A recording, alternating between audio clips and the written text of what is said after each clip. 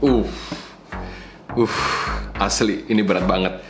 Supreme Blim, hmm, Supreme Blim, balon udara, balon udara yang bisa dipajang. Teng teng teng teng teng teng teng teng teng. Gaple Supreme.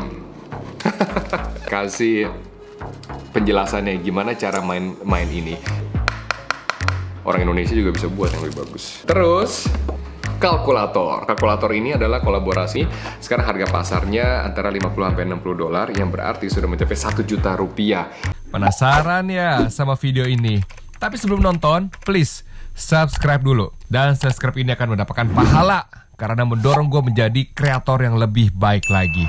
Enjoy ya! Hai sub sub sub sub sub sub sub sub sub sub Thank you thank you banget.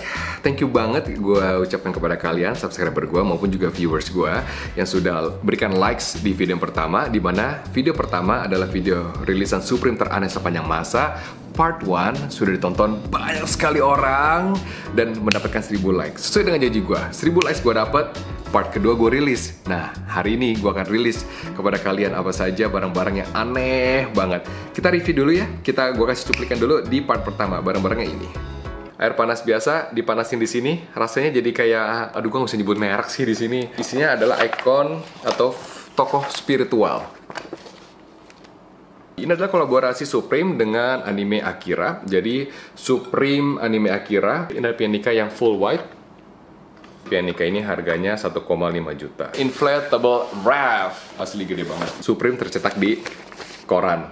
New York Post masuk ke Indonesia, koran ini pernah mencapai harga 600 ribu. Oke, sekarang di episode kali ini gue akan review barang-barang yang juga tidak kalah aneh, tidak kalah seru, tidak kalah hype, dan juga tidak kalah mencenangkan. Karena kalian tidak akan percaya batu bata merah misalnya. Batu bata merah kalau kalian Google harganya berapa sih? 750 perak sampai dengan 1000 perak paling mahal batu bata merah. Banyak tuh di Garut, di Jawa Barat jualan batu bata merah. Tapi batu bata merah Supreme dijual 1000 dolar atau 15 juta rupiah. Gila banget. Ini dia. Ini dia batu bata Supreme. Buka dulu. Ini berat sih dan akan gue buka. Uh. Uh, asli ini berat banget. Ada juga barang lain. Barang lain adalah ini dia Supreme Blim hmm, Supreme Blim, balon udara, balon udara yang bisa dipajang, terus gaple nih, ada yang suka main gaple nggak? Kalau suka main gaple pasti butuh biar main gaplenya lebih hype dengan Supreme Domino atau teng teng teng teng teng teng teng teng teng teng gaple Supreme. Terus kalkulator. Kalkulator ini adalah kolaborasi Supreme dengan Brown yang juga cukup hype. Oke, akan kita mulai dari mana ya?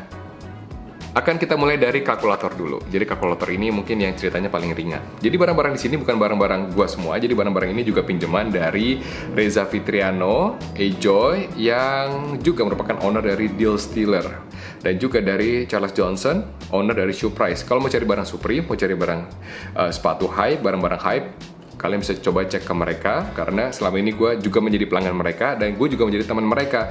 Gue sudah rasakan service mereka yang baik dan juga gue sudah rasakan barang-barang mereka yang worth the price. Jadi di harga yang fair. Jadi silakan kalau ada yang mau cari-cari barang di sana. Recommended pokoknya. Ini kalkulator yang cukup terkenal tahunnya dari merek Brown yang bertipe ET66 jadi kalkulator ini kalau kita lihat kalkulatornya ini kalkulator yang cukup basic. Sebenarnya tidak ada rumus-rumus kalkulus yang terlalu ribet ada di sini. Ada oke okay, ada penambahan ada pengurangan ada kali ada bagi ada diskon, udah lah, pokoknya ini kalkulator yang biasa sebenarnya. Dan ini dijual, tetapi ini dijual cukup luar biasa sebenarnya. Untuk kalkulator yang sangat sederhana seperti ini, sekarang harga pasarnya antara 50 sampai 60 dolar, yang berarti sudah mencapai 1 juta rupiah. Nah, gimana subs? Kalau kalian beli kalkulator ini, kira-kira duit kalian di sini makin banyak atau makin berkurang? Terus kita akan review lagi ini satu yang unik banget. Ini dijual sama temen gue si Ejoy Supreme. Um, jadi kita nggak bisa buka dalamnya ya. Gue hanya bisa kasih lihat gaplenya. Jadi ini berbentuk kotak kayu Supreme Dominos. Ini adalah bahannya kayu. Oke, okay, udah kedengeran ya bahannya kayu kan. Terus di depannya dibuat seperti ini. Jadi ini bahan kayu dari Supreme. Di dalamnya ada gaplenya. Nah, gaplenya ini ada. Nah, bentuknya seperti ini menurut gue cukup bagus sih walaupun juga pembuatannya sangat-sangat biasa sebenarnya orang Indonesia juga bisa buat yang lebih bagus nah ini ada gaplenya nah ini satu set gaple uh, uh, apa namanya ada tulisan Supreme, Domino dan juga ada oh ada pembatasnya dan juga ini ada set kedua. Jadi untuk untuk main dua orang. Kalian ngerti kan main gaple kan? Biasa main gaple itu dibanting-banting tuh di terminal. Tapi kalau kalian belum ngerti main gaple, nih Supreme kasih kasih penjelasannya gimana cara main main ini. Menurut gue sih kalau orang Indonesia nggak perlu baca cara main gaple deh. Udah pada jago biasa main di pos hansip sama di terminal. Nah, sekarang berapa sih harga dari Supreme Domino ini? Jadi Supreme Domino ini dijual di harga 125 dolar sampai 150 dolar. Mungkin sekarang lebih mahal lagi bisa mencapai 200 dolar. Jadi kisaran harganya di 2,5 juta sampai dengan 3,5 juta. Oke, okay, selanjutnya adalah Supreme Inflatable Blim. Jadi Blim itu apa sih? Blim itu bahasa Indonesia adalah balon udara sebenarnya. Ini adalah balon udara yang kita tahu menjadi salah satu ikon di salah satu perusahaan ban terkenal di dunia. Nah, Blim ini dirilis di tahun 2017 dan kemudian menjadi salah satu collectible item. Kenapa? Karena unik banget. Supreme jarang ngeluarin barang-barang yang inflatable. Tadi inflatable di part pertama adalah inflatable raft atau apa sih kasur, kasur apung gitu kan. Sebenarnya kalau sejarah dari Blim adalah sebuah alat yang didevelop oleh militer di tahun 1915 dan sekarang dikenal sebagai sebuah media untuk memperkenalkan sebuah brand. Jadi terbang-terbang di atas kemudian menjadi sebuah brand. Kalau kita lihat di Macy's Parade setiap tahunnya yang banyak tokoh-tokoh, karakter-karakter terbang gitu balon udaranya kan juga seperti itu konsepnya kurang lebih sama. Jadi untuk sebuah pertunjukan aja atau sebuah pengiklanan. Nah, Blim ini bukan Blim Supreme ya. Jadi Blim secara keseluruhan pernah juga digunakan sebagai properti dari film-film yang terkenal. Kalau kita berbicara mengenai film James Bond, itu ada film A View to a Kill yang dibintangi oleh Roger Moore dan juga Christopher Walken juga ada Blim. Tetapi banyak kemudian spekulasi yang mengkaitkan antara Supreme Blim dengan Blim yang ada di film Scarface. Jadi Scarface adalah film di tahun 1983 yang menceritakan mengenai perjalanan Tony Montana dari seorang pengungsi asal Kuba yang menjadi uh, drug kingpin atau bandar narkoba di Miami, Amerika Serikat. Nah, ada satu set di mana Tony Montana kemudian melihat ke langit dan ada blim, ada balon udara, yang bergerak dan juga ada tulisan The World is Yours. Nah, ini kemudian menjadi salah satu spekulasi paling mendekati dari dirilisnya Supreme Blim. Kenapa? Karena perjalanan antara Supreme dengan film Scarface itu sudah banyak. Jadi tidak hanya ini saja. The World is Yours juga adalah salah satu tagline yang disukai oleh Supreme karena sesuai dengan semangat anak muda untuk meraih masa depan. Jadi Supreme ini is all about culture movement, bagaimana gerakan-gerakan anak muda termasuk juga gerakan anak muda sekarang, bukan gerakan anak muda generasi X saja pada saat berani berdiri, tapi juga sekarang relevan dengan gerakan anak muda generasi milenial, generasi Y dan juga mungkin generasi Z itu adalah referensi yang mungkin um, paling cocok dikaitkan dengan Supreme Blim ini. Supreme Blim ini dijual di harga 100-150 dolar sekarang, mungkin sampai ke Indonesia harganya di sekitar satu setengah juta lebih lah, 1,8 juta sampai dengan 3 juta deh harga ini. Dan ini nggak bisa gue tiup karena ini masih baru, belum dipakai sama sekali, um, dan juga mungkin dijual, gue nggak tahu. Jadi kira-kira bisa seperti ini aja lah. Kalau mau tahu hasil tiupannya gimana, gue kasih gambar ya.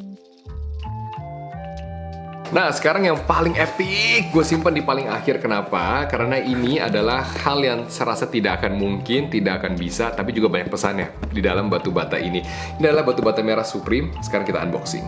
Batu bata merah Supreme ini dirilis di tahun 2016. Ini seriously, ini berat banget uh, brick ini. Kemudian dibuka, hasilnya adalah Supreme Brick, di mana ini adalah batu bata merah biasa. Nah subs, gimana? Enjoy nggak dengan konten-konten di channel ini? Nah, tidak hanya memberikan tontonan yang seru, tetapi juga channel ini akan memberikan giveaway-giveaway yang seru juga. Gimana caranya biar nggak ketinggalan giveaway? Gampang, buka Instagram kalian, scan barcode ini, ini adalah barcode Instagram gua, terus di follow. Kenapa? Karena setiap giveaway akan gue umumkan di Instagram, dan pemenangnya juga akan gue umumkan di Instagram. Mungkin tidak semerah yang ada di Indonesia, karena mungkin tanah liatnya juga berbeda, tapi kurang lebih konsepnya sama, batu bata, sesuai dengan ukuran batu bata, dikasih brand Supreme ceplok. Nah, harganya pada saat dirilis di tahun 2016 adalah 30 dolar. 30 dolar kalau kita kalikan dengan kurs sekarang itu seharga 450 ribu. Harga batu bata merah kalau kita cari di Google paling mahal itu 1000 rupiah. Banyak dijual di Jawa Barat. Nah, itu sudah cukup mahal loh. Ada yang 700, ada yang 600 perak, ada yang 700, ada yang 600 perak, ada yang juga 900 perak. Gua ambil rata-rata 1000 perak aja deh. Supreme sudah mendapatkan keuntungan dari batu bata ini 450 kali dari harga biasa. Itu Supreme sudah mendapatkan keuntungannya. Kemudian dirilislah di tahun 2016 ke pasar dan sekarang 4 tahun kemudian berapa harganya? Kalau kita hitung dari 450 ribu rupiah, sekarang harganya itu sudah mencapai 1000 dolar, yaitu 15 juta rupiah. Jadi harganya sudah 30 kali lipat lebih lebih mahal dari pertama kali dirilis di harga retail. Coba hitung berapa banyak keuntungan dari tangan-tangan yang menggerakkan barang ini dari produsen, dari retailer, dari reseller, dari distributor. Jadi gue suka ya dengan Supreme ini karena konsepnya satu barang seremeh ini sebenarnya, tapi pesannya banyak. Nanti gue akan ceritakan.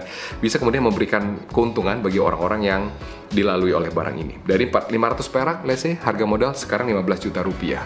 Gila banget kan? Jadi banyak yang mengatakan alasan pertama adalah memang ini adalah nuansa-nuansa kejahatan atau kriminal. Kenapa? Karena sebelum barang ini dirilis, Supreme memang terkenal dengan barang-barang yang bernuansa merusak atau bisa digunakan untuk merusak. Misalnya uh, tongkat baseball, palu, dan juga crowbar. Nah, batu bata ini kan juga bisa digunakan untuk merusak, bisa dilempar ke orang, pecahin kaca, pecahin mobil, ngerusakin mobil.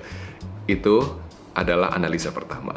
Kemudian analisa kedua adalah Supreme kemungkinan besar mendengarkan dari keinginan fans ya. Jadi ada fans di mana fans ini bernama Nicholas Neporani dan juga Lawrence, aka Soul underscore Position, uh, mengatakan kepada Kompleks bahwa mereka sebenarnya yang mencetuskan ide ini untuk uh, dirilis oleh Supreme. Nah sekarang bisa dua alasan nih, bisa Supreme memang sudah punya rencana untuk rilis, tiba-tiba ada fans yang ngomong ya sekali aja dirilis, atau Supreme belum punya rencana merilis, terus dengan fans ini ingin merilis batu bata, terus kemudian dirilis. Jadi alasan ketiga adalah alasan seni. Jadi kita harus pahami kultur di mana Supreme ini berkembang juga sejalan kultur di mana budaya seni juga berkembang. Jadi pada saat tahun 90-an, dunia seni digegerkan dengan sosok-sosok yang kontroversial seperti Andy Warhol, Damien Hirst, dan juga Jeff Koons yang membuat sebuah karya dari yang dilihat oleh kacamata senior-senior um, artis pada saat itu adalah sebuah kacamata yang cukup remeh. Misalnya ada pop art, ada juga dari balon gitu kan. Nah, mungkin Supreme ini kemudian ingin membuktikan bahwa ini adalah sebuah art, ini adalah sebuah seni, di mana bisa sebuah barang yang tidak berguna, ini tidak berguna loh. Apa sih bisa dilakukan oleh satu batu bata, seribu batu bata bisa membuat sebuah tembok, satu juta batu bata mungkin bisa membuat sebuah rumah yang besar atau taman. Tapi apa yang bisa dibuat oleh sebuah batu bata seperti ini? Nggak ada. Murah, gampang dicari, bisa menjadi sebuah barang yang dikoleksi. Mungkin itu pembuktiannya Supreme. Dan yang keempat adalah pamer atau menunjukkan diri. Jadi pada saat Supreme terus berkembang, Supreme kemudian diidentikan dengan sebuah konsep di mana apa pun yang ditempel Supreme pasti laku. Nah, biasanya yang ditempel Supreme sebelum batu bata ini adalah barang-barang yang cukup berguna. Misalnya ada kalkulator, ada domino buat main, ada juga kasur apung buat dipakai, barang-barang yang sebenarnya berguna untuk melindungi diri atau berguna dalam beraktivitas. Sekarang apa ya yang bisa berguna dari brick ini selain untuk pajangan? Atau selain untuk nimpuk orang, gak ada. Jadi Supreme ini membuktikan bahwa mereka sudah mencapai level brand recognition dan juga brand image di mana apa pun yang mereka tempel itu bisa laku. Dan ini benar-benar dibuktikan dari batu bata merah ini. Oke subs, jadi itu adalah review barang-barang aneh Supreme gua untuk part 2. Thank you so much yang udah enjoy dari part pertama hingga part kedua. Um, dalam vlog ini sebenarnya gue ingin kasih tahu kalian bagaimana brand tersebut berkembang, di mana brand Supreme yang kemudian hadir dengan barang-barang yang aneh. Tidak pernah terpikirkan bagi orang dan gue rasa cuma Supreme doang di dunia yang mampu melakukan itu. Tapi asik juga kali ya kalau kita bahas Supreme perjalanannya, kita bisa belajar banyak sebenarnya dari brand itu. Gimana setuju nggak? Kalau setuju, kasih 1000 likes lagi di bawah. Gue akan bongkar rahasia kesuksesan Supreme dan gue yakin kita bisa belajar banyak dari mereka. Thank you subs.